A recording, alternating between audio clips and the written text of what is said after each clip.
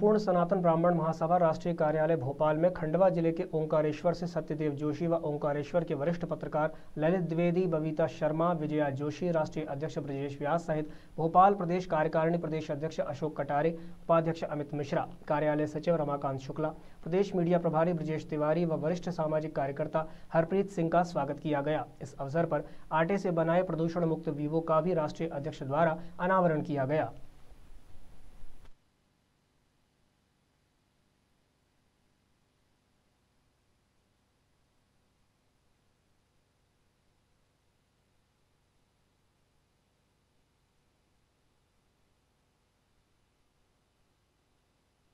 रमाकांत शुक्ला, संपूर्ण भारतीय ब्राह्मण महासभा एवं संपूर्ण सनातन महासभा की ओर से हमारे बबीता शर्मा जी, ललिता जी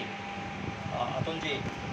और जोशी जी, जो बड़वा है, इंदौर और ओंकारेश्वर क्षेत्र से संपूर्ण भारतीय ब्राह्मण महासभा की शाखाओं को पल्लवित और प्रस्तुत करने का कार्य वहाँ पर कर रहे हैं। श्रीमती बबीता जी बहुत लगन और गंभीरता के साथ में महिला को, महिलाओं को वहाँ सशक्तिकरण का कार्य कर रही हैं। आज इसी श्रृंखला में जोशी जी, ललित जी, अमित जी सबकी तरफ़ से कटारे जी की तरफ़ से, हमारे जो राष्ट्रीय अध्यक्ष हैं, ब्रजेश व्यास जी,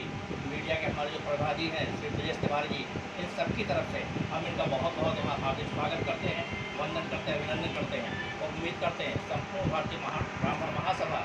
जिस तरीके से ब्राह्मणों के संस्कारों, संस्कृति और संस्कारों की रक्षा के लिए मध्य प्रदेश के और पूरे देश के विभिन्न क्षेत्रों में कदम उठा रही है, उसी श्रृंखला में ओंकारेश्वर, बड़वा, इंदौर, आप सबके माध्यम से ब्राह्मणों को संगठित और सुसंगठित करने के लिए, ब्राह्मणों को संस्कार देने के लिए ये आप लोग सभी मिलकर काम करेंगे। ओंकारेश्वर से सर्व ब्राह्मण समाज, संपूर्ण भारतीय ब्राह्मण समाज, सनात ब्राह्मण महासभा से, ओंकारेश्वर से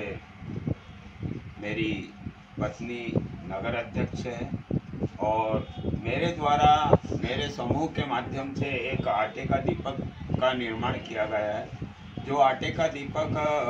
पानी में तैरता है, उसके ऊपर बत्ती जला दी जाएगी तो तैरते हुए जाएगा